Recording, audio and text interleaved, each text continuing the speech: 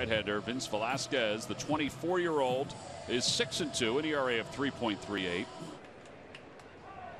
Swing and a miss to the changeup. You got the strikeout. One away. Two balls, two strikes.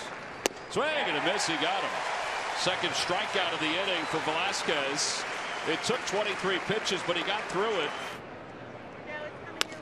Over toward the left side, cut off by Franco.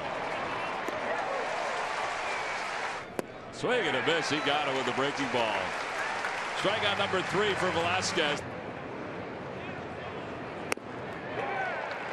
Runner goes.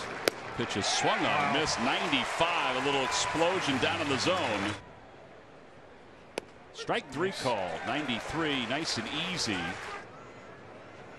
He went around. Snorkel. Yeah. Snorkel.